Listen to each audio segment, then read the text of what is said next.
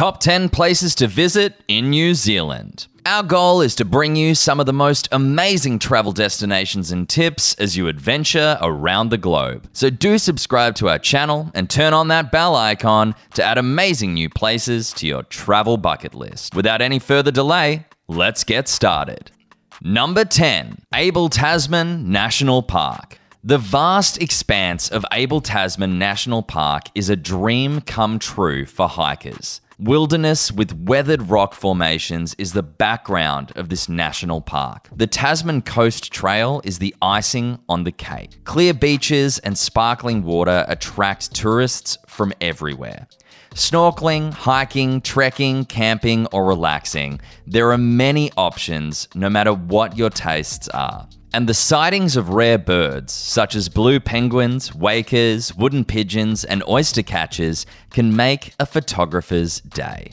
Ritz Factor home base to famous fjords and striking beauty. Don't miss famous fjords of Milford Sound, Dusky Sound, and Doubtful Sound. How to reach by air. Queenstown Airport is the closest you can get to Fiordland National Park by air. Located at a distance of 235 kilometres from Queenstown, the national park can be reached by taking a bus or driving in to Te Anau, also known as the gateway to the park.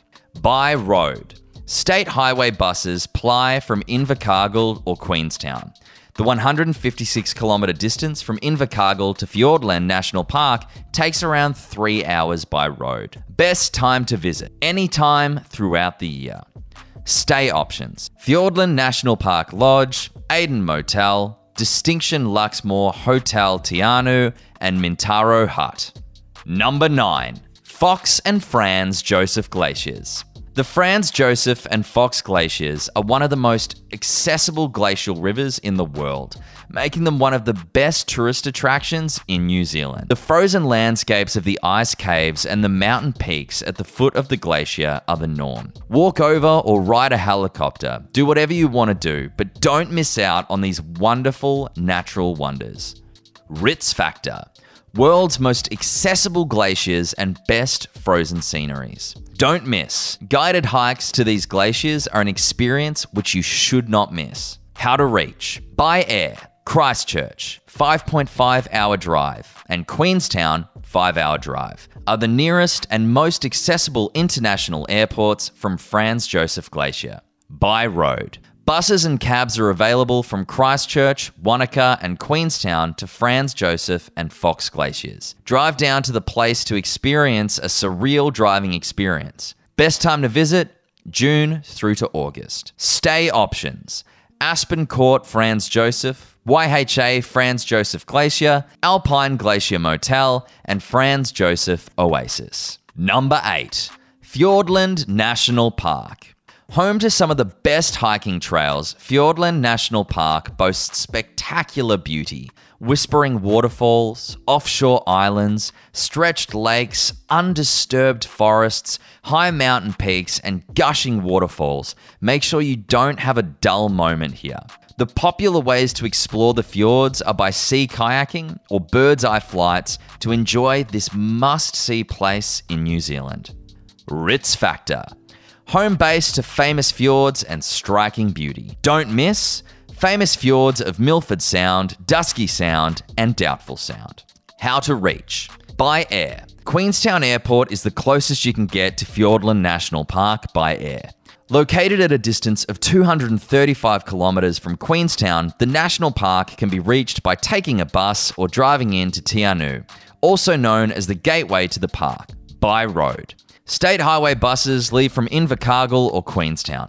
The 156 kilometre distance from Invercargill to Fiordland National Park takes around three hours by road. Best time to visit? Anytime throughout the year. Stay options Fiordland National Park Lodge, Aiden Motel, Distinction Luxmore Hotel Te Anau, and Mintaro Hut. Number 7. Queenstown. The country's adventure capital, Queenstown, is one of New Zealand's top tourist destinations. Bungee jumping, whitewater rafting, jet boating, rock climbing, paragliding, hiking, downhill skiing, mountain biking, The list of adrenaline fueled sports is endless at this top tourist attraction in New Zealand. Ritz Factor. Loads and loads of adventure sports. Don't miss. Explore gold mining towns and landscapes of snow clad peaks of remarkable range. How to reach. By air. Queenstown International Airport on the South Island is well connected with other major cities across the globe. By road, intercity buses from Christchurch, 354 kilometres, and Auckland, 1,028 kilometres, commute to Queenstown at regular intervals.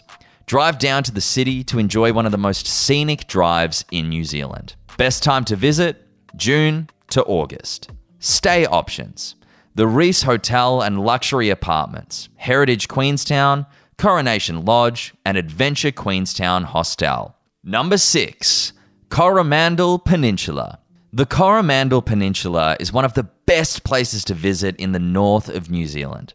A sublime world away from the hustle and bustle of the city, the Coromandel Peninsula is a paradise for complacent people who seek peace around them. The beaches are famous for their golden sand. Enjoy hiking, kayaking, and skydiving at this tourist attraction in New Zealand. Ritz Factor, a surreal world away from the hustle and bustle. Don't miss Thames a small city famous for its gold mining history and the hot water beach where you can dig your own hot water pool. How to reach?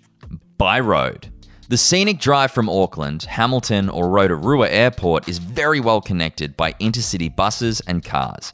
The drive from Auckland takes roughly one and a half hours. By ferry. Regular ferries operate from Auckland to Coromandel town. The two hour ride is one of the most exciting things to do in the Northern Island region. Best time to visit? September through to November. Stay options Anchor Lodge Coromandel, Aotearoa Lodge, and Beachside Resort Whitianga. By air.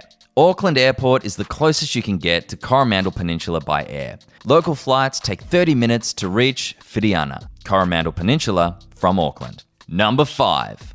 Auckland. Two shimmering ports, the Manukau Harbour and the Waitemata Harbour, are the main jewels of the crown of Auckland. Rainforests, wild hiking trails, hidden coves, picturesque islands, and mysterious volcanoes make this city the perfect base for adventure lovers. Unusual black and gold beaches set the scene for stunning photos and memories. It's quite popular among the top tourist spots in New Zealand. Ritz Factor black sand beaches, gold sand beaches, and two sparkling harbours. Don't miss Sky Tower, the 328 metre high tower to zoom in on the stunning expanse. Also, don't even think about missing the Orbit revolving restaurant. How to reach by air. One of the major cities in the North Island, Auckland is well connected with major international cities around the world. Auckland is well connected with most of the cities in New Zealand by road. Best time to visit June through to September.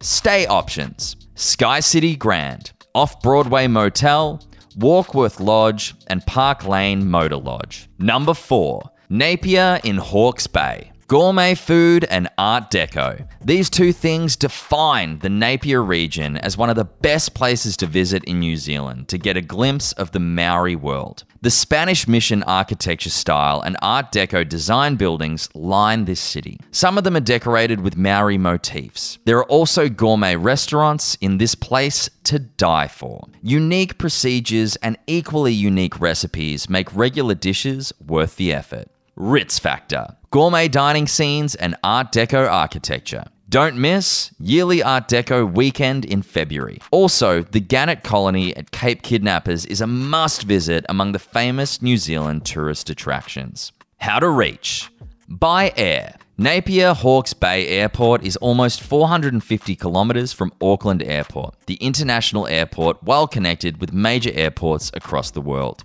Napier Hawke's Bay can be reached by local flights from Air New Zealand. By road. Overnight intercity buses operate from Auckland to Napier and take 6 to 8 hours on average. Best time to visit July through to August. Stay options. The Country Hotel Napier, the Crown Hotel Napier, Art Deco Masonic Hotel, and Scenic Hotel Te Pania. Number 3. Rotorua.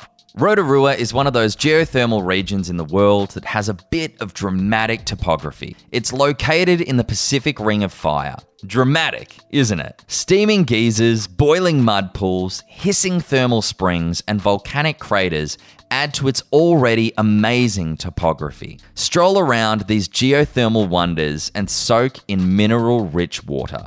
Options like skydiving, luggage, trekking, and mountain biking make it a must see place for adventurous souls in New Zealand. Ritz Factor. Geothermal wonders and red lava lines are dominant features of this tourist attraction in New Zealand. Don't miss Lady Knox Geyser, Champagne Pool, and trout fishing. How to reach. By air. Wellington Airport, 450 kilometres, is well connected with major cities across the world. Intercity bus services and cabs are available from the airport to Rotorua. By road. Coaches, shuttles, and taxis run in tandem from Auckland to Rotorua. The ride via road takes a good two and a half hours to reach Rotorua. Best time to visit November through to April. Stay options Millennium Hotel, Arista of Rotorua, Rydges Hotel, and Quest Hotel. Number 2. Tongariro National Park. Towering volcanoes, untamed forests, arid plateaus, hot springs, grassy fields, turquoise lakes, and lush meadows set in melodramatic landscapes.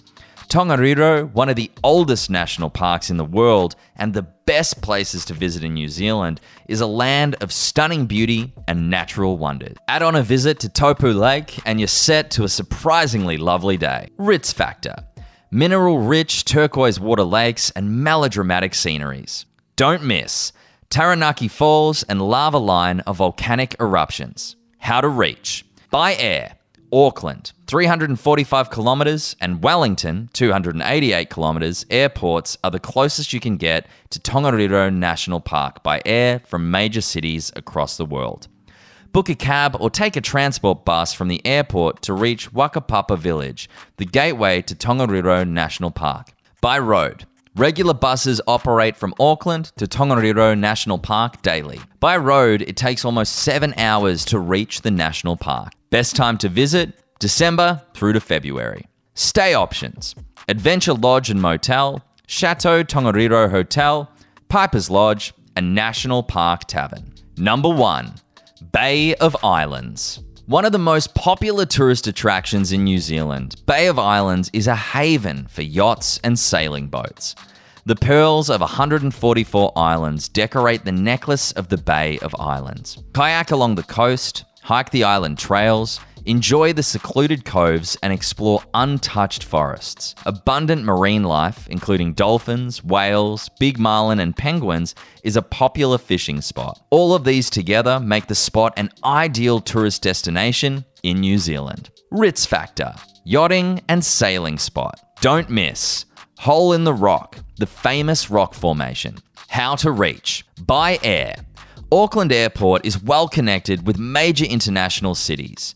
Air New Zealand flights operate in tandem from Auckland to Bay of Island Airport, which is also known as Kerikeri Airport, by road. Bay of Islands is well connected with Auckland by road. Intercity buses and taxis operate from Auckland to Bay of Islands. The 193 kilometre distance takes three hours to cover by state highways. Best time to visit? February through to March. Stay options near Bay of Islands. Paradise on the Strand, Sea Spray Suites, Veronica House, and Arcadia Lodge. What do you think is the best place on our list? Which one seems the nicest? Leave us a comment below and make sure you like this video and subscribe to our channel so you don't miss our future travel videos. With that, I'll see you in the next video.